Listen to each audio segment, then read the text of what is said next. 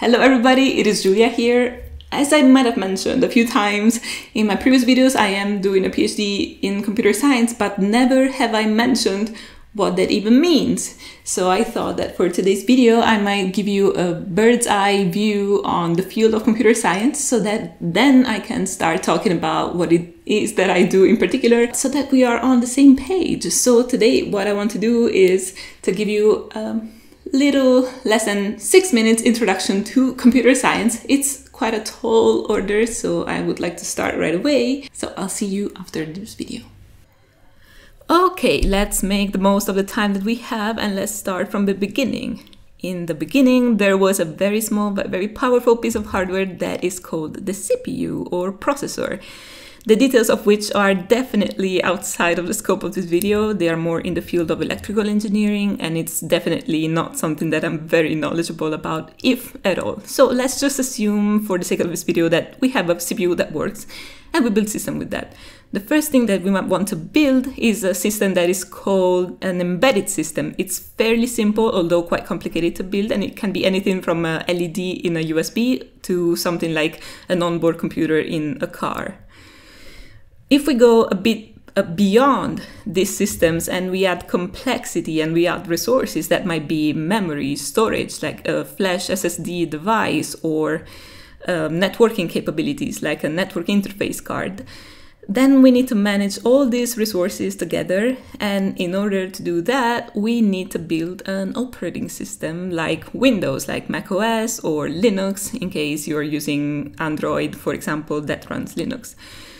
If we have these systems, we have the resources that are managed for us, and we might want to amp up the complexity of the system a little bit. So instead of using a single computer, why not connect many of them together? So let's have more resources, more memory, more processors, and let's just link them together to make something powerful. Actually, I'm drawing them with a screen and a keyboard. More realistically, I'm talking about uh, basically a rack in a data center where there are many computers stacked on top of each other, and they all collaborate together to do something like running YouTube, running Facebook, or running Google.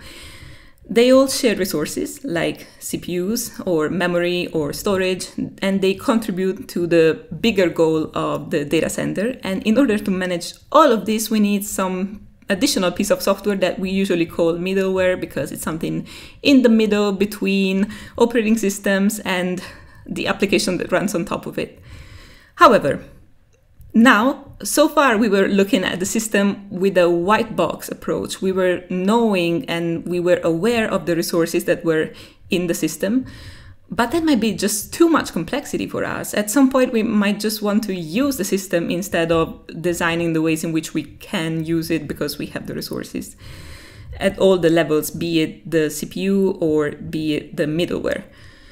In that case, we can take this black box approach and just consider the computers as single systems that do work independently. It can be a computer, it can be a smartphone, or it can be a smart washing machine. I don't know, because humanity has gone too far with Internet of Things applications. Or it can be a data center, and all of them might want to communicate one with the other to, to do and implement some application. In this case, how do we do it though? Like the single systems work, but they might be working in different languages. One might be talking in English and the other one might be speaking Italian. And they're not really going to understand each other unless there is some intermediate layer of protocols.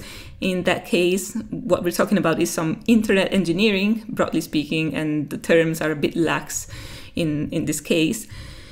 And this deals with the design of a common language that allows potentially very different systems, a washing machine or maybe a data center, to communicate one with the other. But once we have that in place and once different, possibly heterogeneous systems can communicate, we can finally get to something that we might be more familiar with, which are all the applications that use computer systems. And maybe it's something that is all over the internet nowadays. It's AI, or maybe it's services like Netflix, or gaming, or Google, YouTube, what you're using right now to watch the video. Maybe it's websites and web development, or emails all of which use the infrastructure that I just laid out under the hood, but they're not really aware of what is happening because they don't really need to know the details and the, the nitty gritty details of the CPU management or the middleware or the internet protocols.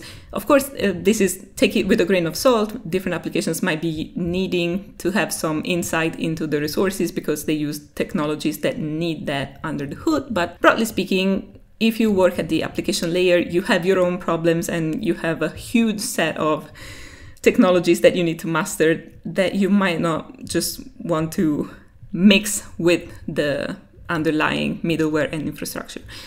But so far, yeah, we had a broad overview of what actually happens under the hood of computer systems and all the different layers that you might want to be working on and in. This is me trying to give a bird's eye view of all the drawings that I drew on paper, but probably I failed badly at it. But I hope that this video was useful for you anyway.